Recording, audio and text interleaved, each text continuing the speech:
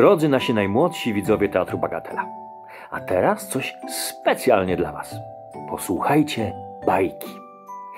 Jakob i Wilhelm Grimm, Jaś i Małgosia.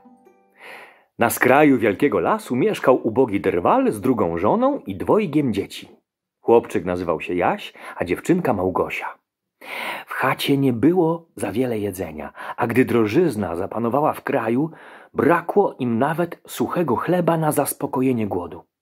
Strapiony drwal długo nie mógł zasnąć wieczorem i wzdychając ciężko rzekł do macochy swych dzieci. Aj, co się z nami stanie, jak wyżywimy biedne dziadki nasze, gdy sami nie mamy co jeść? Trudna rada, mężu, odparła macocha. Jutro o świcie musimy wyprowadzić dzieci do lasu. Tam rozpalimy ogień, damy im po kawałku chleba, potem pójdziemy do swojej roboty, a dzieci pozostawimy własnemu losowi. Oczywiście nie trafią z powrotem do domu i w ten sposób się ich pozbędziemy.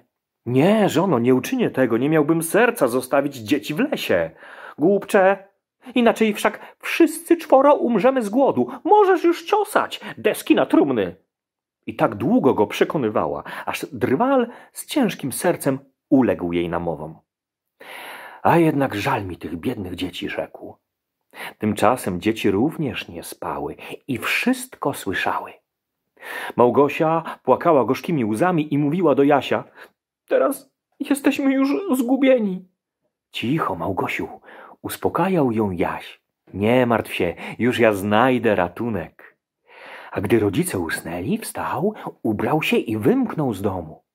Księżyc świecił jasno, a białe kamyki leżące dookoła domu błyszczały jak nowe pieniążki. Jaś nazbierał ich tyle, ile tylko mógł zmieścić w kieszeniach. Potem wrócił i rzekł do Małgosi. Bądź spokojna, kochana siostrzyczko, i śpij spokojnie. Dobry Bóg nie opuści nas. O świcie, zanim jeszcze słońce wzeszło, wstała macocha i zbudziła dzieci. Wstawajcie, leniuchy, pójdziemy do lasu po chrust. Potem dała każdemu po kawałku chleba i rzekła: Macie tu chleb na obiad, ale nie zjadajcie wszystkiego od razu, bo więcej nic nie dostaniecie. Po chwili wszyscy czworo ruszyli do lasu. Gdy uszli kawałek drogi, Jaś pozostawał w tyle, patrząc za siebie na domek. Czynił tak co pewien czas. Jasiu, zapytał ojciec, czemu oglądasz się ciągle za siebie? Pośpiesz no się. Ach, ojcze, rzekł chłopiec, patrzę na swojego białego kotka, który siedzi na dachu i chce się ze mną pożegnać. A macocha na to, Głuptasie, to nie twój kotek. To słońce poranne tak błyszczy na kominie. Ale jaśnie oglądał się za kotkiem, lecz raz po raz rzucał za siebie biały kamyczek na drogę. Kiedy się znaleźli w głębi lasu, rzekł ojciec. Nazbierajcie dzieci chrustu, rozpalimy ogień, abyście nie zmarzły. Jaś i Małgosia naznosili chrustu, a gdy rozniecono ognisko i płomień strzelił wysoko, macocha rzekła do dzieci. Połóżcie się przy ogniu i wypocznijcie, a my pójdziemy głębiej w las narąbać drew. Wracając przyjdziemy po was i razem pójdziemy do domu. Jaś i Małgosia siedli przy ogniu, a w południe każde zjadło swoją kromkę chleba.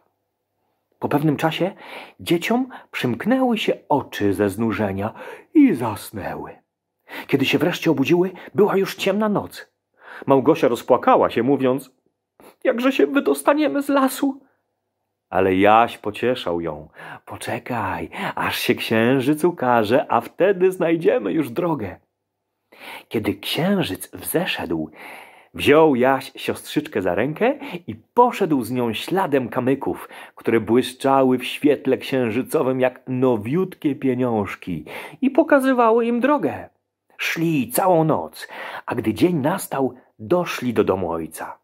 Zapukali do drzwi, a kiedy macocha otworzyła i ujrzała, że to byli Jaś i Małgosia, rzekła – Niedobre dzieci, coście robiły tak długo w lesie?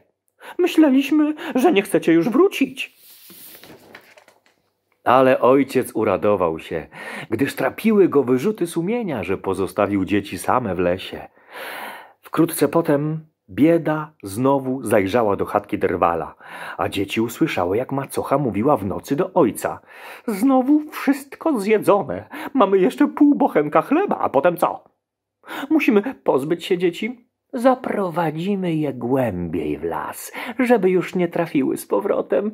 O, nie ma innej rady. Strapił się ojciec i pomyślał – Lepiej by było, abyśmy się podzielili z dziećmi ostatnim kęsem chleba. Ale żona zburczała go, czyniąc mu wyrzuty. Kto mówi A, musi powiedzieć im B. I biedny ojciec zgodził się. Lecz dzieci nie spały jeszcze i słyszały całą rozmowę. Gdy rodzice usnęli, Jaś wstał, chcąc znowu nazbierać kamyków. Ale zła macocha zamknęła drzwi i Jaś nie mógł wyjść. Pocieszał jednak siostrzyczkę. Śpij spokojnie i nie martw się. Dobry Bóg dopomoże nam. Gdy ranek zaświtał, macocha kazała dzieciom wstać. Dała każdemu po kawałku chleba, mniejszym niż poprzednim razem. Po drodze pokruszył Jaś chleb w kieszeni, przystanął i rzucił jeden okruszek na ziemię. Jasiu, czemu oglądasz się ciągle za siebie? zapytał ojciec. Pośpiesz no się. A oglądam się za gołąbkiem, który siedzi na dachu i chce się ze mną pożegnać. Głuptasie, rzekła macocha, to nie gołąbek, to słońce poranne tak błyszczy na kominie. Ale Jaś raz po raz rzucał za siebie okruszynki chleba. Macocha poprowadziła dzieci znacznie głębiej w las. Kazała im rozpalić wielkie ognisko i rzekła: Posiedźcie tu dzieci, a jeśli się zmęczycie, możecie się przespać. My idziemy do lasu rąbać drzewo, a wracając wieczorem stąpimy po was. W południe podzieliła się Małgosia z Jasiem swoim chlebem, gdyż Jaś swój kawałek rozrzucił po drodze. Potem zasnęli oboje i minął wieczór. Ale nikt nie przyszedł po biedne dzieci. Obudziły się dopiero późno w nocy. Jaś pocieszał swoją siostrzyczkę tak jak przedtem. Nie płacz, Małgosiu. Gdy księżyc wzejdzie, okruchy, które rozrzuciłem po lesie, wskażą nam drogę do domu. Ale gdy księżyc się ukazał, nie znalazły dzieci okruchów, gdyż tysiące ptaszków żyjących w lesie dawno je wydziobały. Jaś powtarzał ciągle: Nie bój się, Małgosiu, znajdziemy jakoś drogę do domu. Ale nie znaleźli jej. Szli całą noc i cały następny dzień, ale nie mogli znaleźć wyjścia z lasu. Głód począł im dokuczać, gdyż nic nie jedli. Wreszcie nogi odmówiły im posłuszeństwa i usnęli zmęczeni pod drzewem. Oto nastał trzeci ranek, odkąd dzieci opuściły dom ojca. Ruszyły znowu w drogę, ale im dalej szły, tym bardziej zagłębiały się w las, aż znalazły się przed chatką, która zbudowana była z chleba i pokryta ciastem, szyby zaś były z cukru. Chodź tu, rzekł Jaś, teraz możemy się posilić. Ja zjem sobie kawałek dachu, a ty skosztuj może słodkiej szybki. I chłopczyk wspiął się na palce, ułamał kawałek smacznego dachu, a dziewczynka poczęła chrupać szybkę. Nagle z chatki odezwał się głos. Chrupu, chrupu, chrupu, chrupki, kto przyszedł do mojej chałupki? A dzieci odparły, to wiaterek z nieba, z błękitnego nieba. I jadły dalej. Nagle otworzyły się drzwi i ukazała się zgarbiona staruszka wsparta na kiju i rzekła A, to wy, drogie dzieci, kto was tu przyprowadził? Wejdźcie do chatki, nic wam się złego nie stanie. Wzięła je za ręce i wprowadziła do izby. Dała im mleka i pączków z cukrem i jabłek i orzechów. Potem pościeliła im dwa piękne łóżeczka, a Jaś i Małgosia położyli się spać, myśląc, że są w niebie. Ale staruszka udawała tylko życzliwość. Była bowiem złą czarownicą, która czyhała na dzieci i specjalnie zbudowała ten domek z chleba, ciasta i cukru, aby je zwabiać. Gdy tylko jakieś dziecię dostawało się w jej moc, zabijała je i zjadała. Raniutko, gdy dzieci jeszcze spały, stanęła czarownica przed nimi, spojrzała na ich rumiane policzki i pomyślała: To dopiero będzie smaczny kąsek. Po czym chwyciła Jasia kościstymi rękami, zaniosła go do chlewika i zamknęła za zakratowanymi drzwiami. Potem poszła do Małgosi, obudziła ją i rzekła: Wstawaj, leniuchu, przynieś wody i ugotuj coś dobrego dla swego braciszka. Zamknęłam go w chlebie, w chlebie go zamknęłam, bo trzeba go utuczyć. Gdy już będzie cały tłusty, zjem go sobie na śniadanie. Małgosia poczęła płakać rzewnie, ale nic nie pomogło. Musiała robić wszystko, co jej czarownica kazała. Biednemu Jasiowi dała teraz czarownica najlepsze jedzenie. Małgosia zaś nie dostawała ani kęska. Co rano szła czarownica do chlewika i wołała Jasiu, Jasiu, wysuń palec, chcę zobaczyć, czy jesteś już dość tłusty. Ale Jaś wysuwał zamiast palca kostkę, a czarownica, która miała krótki wzrok, dziwiła się ciągle, że Jaś wcale nie tyje. Kiedy minęły cztery tygodnie, zniecierpliwiona czarownica postanowiła dłużej już nie czekać. Hejże, Małgosiu, nanoś mi teraz wody. Jaś nie utuje chyba nigdy, więc muszę go jutro zabić i ugotować. Ach, jakże płakała biedna dziewczynka. Łzy kapały do wiadra, kiedy nosiła wodę. O Boże, Boże, pomóż nam. Nie lamentuj, rzekła starucha. Nic ci to nie pomoże.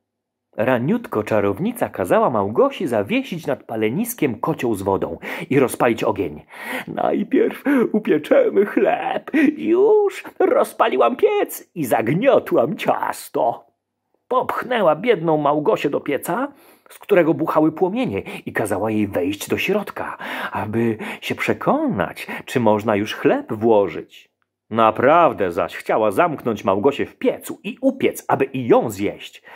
Ale Małgosia spostrzegła jej zamiar i rzekła: «E, Nie wiem, jak wejść do pieca, jakże się tam dostanę. Ach ty głupia gąsko, rzekła czarownica. Otwór jest dość duży. Widzisz, ja sama mogłabym się nawet zmieścić. I wsadziła głowę do pieca. W tej chwili Małgosia popchnęła ją mocno, a gdy czarownica wpadła do pieca, zatrzasnęła za nią drzwiczki i zasunęła rygiel. Hu, hu, hu! Zaczęła wyć zła jędza, ale Małgosia uciekła pozostawiając bezbożną czarownicę w piecu, gdzie się spaliła. Sama zaś pobiegła do Jasia, otworzyła chlewik i zawołała – Chodź, Jasiu, czarownica nie żyje, jesteśmy uratowani. Jasio wyskoczył jak ptaszek z klatki.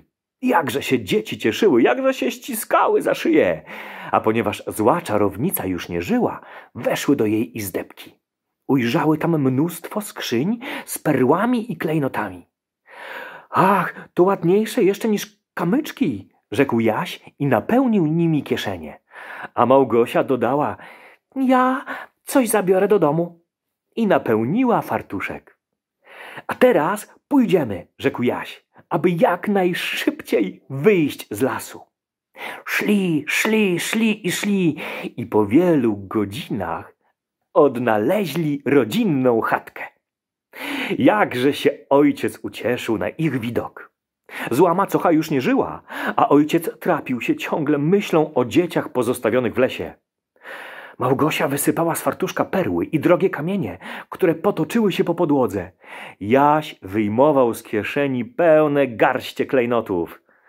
Tak więc troski ich się skończyły i w radości żyli wszyscy troje przez długie jeszcze lata. Pozdrawiam bardzo serdecznie. Marcin Kobierski.